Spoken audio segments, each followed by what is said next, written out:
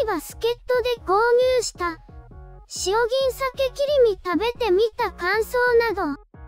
原産国はチリ産。食べた感想。調理について。ズボラなのでフライパン返しは使わなかった。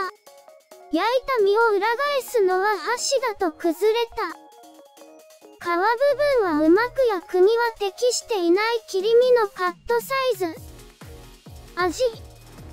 味付けしていなくとも、身の味は塩分が少し強めかな。鮭としては申し分ない。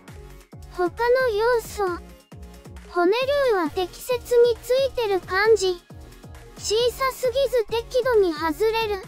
食べ応えボリュームは酒だけだと物足りない。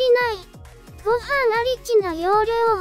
調味料2切れとしか書いておらずグラム数は不明。推定でも 150g 程度かな。